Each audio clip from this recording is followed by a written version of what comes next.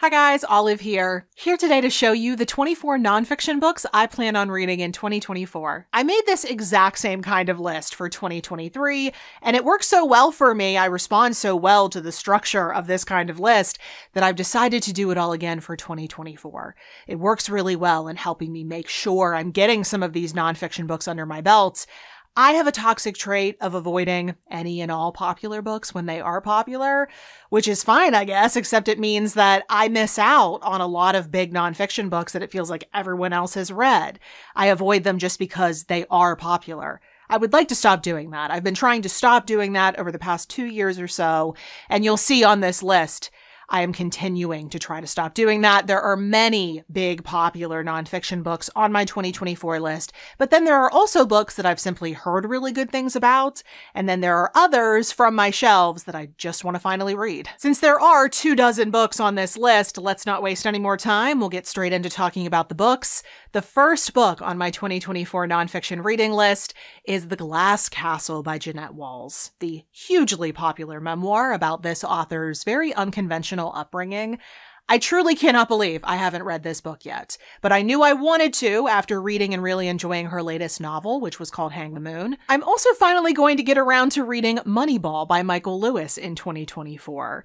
I've read a few of Michael Lewis's books in the past, but I am eager to read more of his books, and I'm going to start with this story of how a baseball manager creatively used statistics to turn a low budget underdog team into something very special. I'm also excited to watch the movie adaptation finally, after I read this. On my list for 2024, I've also made an attempt to add in some classic works of nonfiction that I haven't read yet. Pilgrim at Tinker Creek by Annie Dillard is one of them. It is a Pulitzer Prize winning work of nature writing that meditates on the changing seasons in Tinker Creek, Virginia. This is a very famous work of nonfiction from a Pittsburgh native, which makes it just that much more surprising that I've managed to leave this one unread at this point in my life. But a newer book that I couldn't resist putting on my 2024 list is called The Devil's Element Phosphorus and a World Out of Balance by Dan Egan. And this is a book all about the history of the element and its myriad uses. It's a component in everything from fertilizer to fire bombs.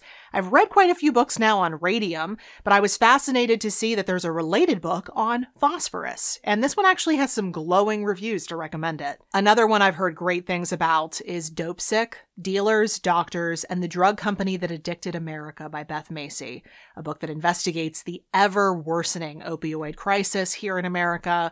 After I read Patrick Radden Keefe's Empire of Pain, all about the company behind Oxycontin, I knew I would eventually follow up with this book. On the heels of reading my very first Michael Pollan book earlier this year, I put The Botany of Desire on my 2023 list, which I then read and I loved it. I wanted to add another one of his books to my 2024 list. The one I decided to go with is The Omnivore's Dilemma, A Natural History in Four Meals. And it seems like this one discusses the foods that we eat and what systems are in place to bring those foods to us.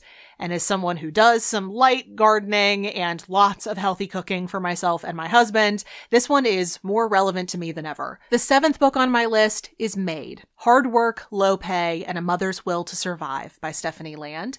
This is a memoir about how the author left an abusive relationship and then took a job cleaning houses in order to support her family as a single mother.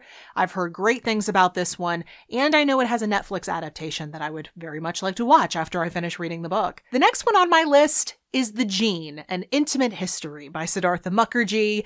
This is a science book all about our genes, or the codes that define our physical makeup. I had spoken about this book in a video I made all about the most intimidating nonfiction books on my TBR, and it was on that list not really because of the subject matter, I mean, maybe a little bit. It was mainly on there because of how long this is.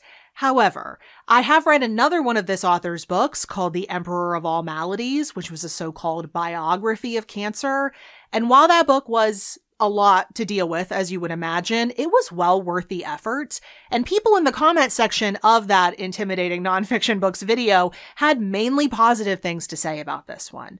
So it's made the jump from that most intimidating nonfiction books list to the to be conquered list. A memoir from a few years back that I intend to finally get to in 2024 is Uncanny Valley by Anna Wiener.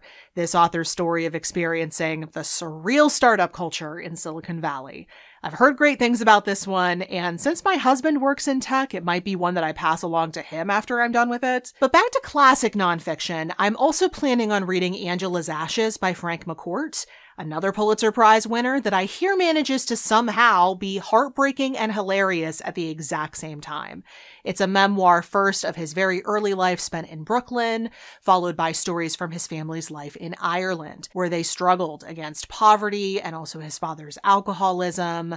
If I fall in love with this one, which I'm kind of suspecting I'm going to, then I'm in for some good news because there's not just one, but two sequels, and there's a film adaptation. Book number 11 on my 2024 nonfiction list is Unbowed by Wangari Maathai, a memoir from the recipient of the 2004 Nobel Peace Prize, in which she discusses how she grew up in Kenya and also her time spent as an environmentalist and an activist. I don't know how it's possible that I, as a prolific nonfiction reader, reader have somehow managed to avoid all of John Krakauer's books. But in 2024, I'm going to aim to rectify that. I'm going to read one of his most popular books called Into Thin Air, a personal account of the Mount Everest disaster. And this is the author's story of a terrifying mountain climbing experience. The next book on my list, book number 13, the one that takes us into the second half of this list, is by an author that I've previously read before.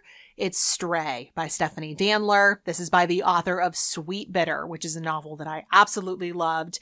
But in this memoir of hers, she discusses a lot of the family traumas in her own past. Next on my list is a science book that's been gathering dust on my shelves for far too long. I've been meaning to read this one for quite some time. It's The Evolution of Beauty by Richard O. Prum. This is a book that looks at the very curious tendency of wildlife, mainly birds, to select mates not just based on fitness when it comes to survival, but also on their own perceptions of beauty. It's something that seems to contradict Darwin and his theory of natural selection, but it's actually something that Darwin himself noticed, and he made a whole different theory about it. And this book talks about that theory. A nonfiction book on my list that was very popular online fairly recently is Cultish, The Language of Fanaticism by Amanda Montell. And this book is about the language that cult leaders and higher ups within those types of organizations use to control the people underneath them. This one being as popular as it was for that period of time, of course, I wouldn't touch it with a 10 foot pole when everyone else was reading it. But now that the hype has died down a little bit, I'm going to go ahead and pick it up. But speaking of cults, I am also adding Going Clear, Scientology, Hollywood, and the Prison of Belief by Lawrence Wright to my list for 2024. This is a deep dive into the terrifying world of Scientology, a topic that I don't know much about because, frankly, it gives me the creeps and I've not wanted to learn more about it before now. Thankfully, we get away from the whole cult theme with this next book. It's called Long Live the Tribe of Fatherless Girls by T. Kira Madden. This is a memoir by one of the heirs to the Madden shoe empire. She talks about what it was like growing up with immense wealth and privilege, but also how difficult it was to deal with both of her parents' addiction issues. But from fathers to mothers, I am also planning on reading Finding the Mother Tree, Discovering the Wisdom of the Forest by Suzanne Simard. This was written by a forest ecologist who's actually been compared to Rachel Carson. In this book, she discusses the intelligence and the communication abilities of trees. This one came highly recommended by a friend of mine, which is why I wanted to prioritize it. Over the years, I've heard people speak very highly of The Man Who Mistook His Wife for a Hat and Other Clinical Tales by Oliver Sacks. This is a book full of stories of people with different neurological issues that cause them to perceive the world in highly unique ways. I am someone with an interest in Soviet history, so I put two books on that topic on my 2020 2024 list. This first one was very popular for quite some time. It's called Midnight in Chernobyl, The Untold Story of the World's Greatest Nuclear Disaster by Adam Higginbotham. This is, of course, a history of the Chernobyl nuclear disaster. I would also very much like to read Dressed for a Dance in the Snow, Women's Voices from the Gulag by Monika Zgustova. This is a collection of interviews from former female prisoners who discuss these camps and what their own experiences in these camps were like. Quite some time ago now, I read Gulag by Anne Applebaum, which was such a triumph. It gave an entire history of the Gulag system. But I think it's going to be equally as impactful to get some firsthand experiences about what these camps were actually like. The next book on my list was also inspired by my 2023 list, as a few other of my picks have been. In 2023, I read Reading Lolita in Tehran by Azar Nafisi, and I liked it so much that I really wanted to put her newest book on my 2024 list. It's titled Read Dangerously The Subversive Power of Literature in Troubled Times. And this book discusses the power that literature has in politics, in traumatic times, and also in our everyday lives.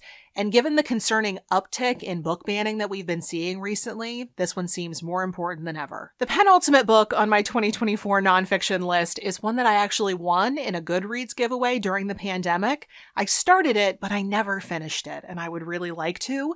It's called The Address Book What Street Addresses Reveal About Identity, Race, Wealth, and Power by Deirdre Mask. This is all about street addresses, the history of them, and what they reveal about us in the modern world. I remember really liking the early chapters of this, and I'm excited to go back and finish it. And then lastly, the final nonfiction book I want to make sure I read in 2024 is Big Magic Creative Living Beyond Fear by Elizabeth Gilbert. This book seems to be a motivational work of nonfiction. It's based in the way that Elizabeth Gilbert sees creativity and living a creative life. For the longest time, I didn't consider myself a creative person. I am much more logical, so I just figured I wasn't very creative until there was an aha moment when I realized that making these booktube videos, it's very much a creative process for me and one that I really enjoy. And ever since then, I've been wanting to tap more into my own creativity. And I just love the way Elizabeth Gilbert sees the world. I'm not normally a reader of self help or motivational type books, but because I admire her so much and because this is a topic that I feel like I could use more of in my life, it went on my list. And that was my list of my priority nonfiction books for 2024. These definitely won't be all of the nonfiction books that I read over the course of the year. I love nonfiction, so I'll be reading way more than 24. These are just the ones that I want to make sure I have read before the year is over. And I'm pretty sure I'm going to be able to do that because 24 is kind of a perfect perfect number, that means exactly two books per month, which is about what I was doing in 2023. So I'm very confident that come the end of 2024, I will have read all of the books on this list. I would love to hear your thoughts about these books. Do you want to read them? Have you read them? Do you want to share your thoughts with me, positive or negative? I would love to know what I'm getting into with these books. I won't be making any changes to this list. I have finalized it, but I would really love to know what to expect. So please feel free to share your thoughts with me down in the comment section below, or if you would just like to chat with me, we can talk there as well. All the books that I did mention today will be listed and linked for you in the description box below. And at the bottom of that exact same description box, you'll also see links to everywhere you can find me around the internet, like Goodreads, Instagram, the Story Graph, all the places I'm the most active, in case you want to keep up with what I'm reading and doing right now. Thank you so much for watching. I hope you're having a wonderful day, and I'll see you in the next video. Bye.